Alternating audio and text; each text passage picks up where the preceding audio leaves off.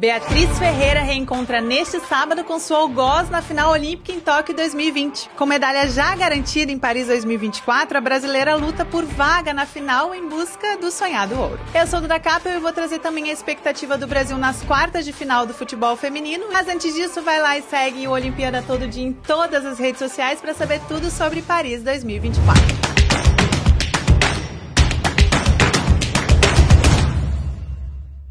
Para começar, vamos direto para Paris com Fernando Gavini. Olá, Duda! O grande momento do Brasil neste sábado nos Jogos Olímpicos de Paris será no boxe. O confronto entre a Beatriz Ferreira e a irlandesa Kelly Harrington. É uma semifinal, vale vaga na disputa do ouro. Mas não é só isso que está em jogo, não. É que esse confronto entre as duas foi a final dos Jogos Olímpicos de Tóquio há três anos.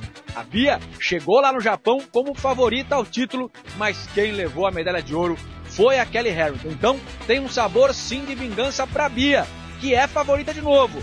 Eu, se fosse você, apostaria na Bia. Boto fé nela para que ela consiga chegar até a final para manter vivo o sonho de ganhar a medalha de ouro. No futebol feminino, o Brasil tem uma pedreira pela frente diante da França. Jogando em casa, as francesas são as favoritas por isso e também por nunca terem perdido para as brasileiras na história. Em 12 confrontos, as europeias ganharam 7 e empataram as outras 5. Esse será o primeiro encontro entre as seleções em Jogos Olímpicos. Atual campeão olímpico, o Canadá encara a Alemanha no duelo que promete ser o mais equilibrado. No entanto, as alemãs lideram as apostas. Nos outros dois duelos, os Estados Unidos encaram o Japão, que são os mais cotados por vaga na semifinal em Paris 2024, assim como a Espanha surge com mais chances de eliminar a Colômbia e chegar entre as quatro melhores da competição. Na ginástica artística masculina, as atrações são as finais no cavalo com alças e no solo. No cavalo, favorito ao ouro é o irlandês Rhys McLanagan. Além dele, os dois mais cotados ao pódio são Ahmad Abu Al-Sud, da Jordânia,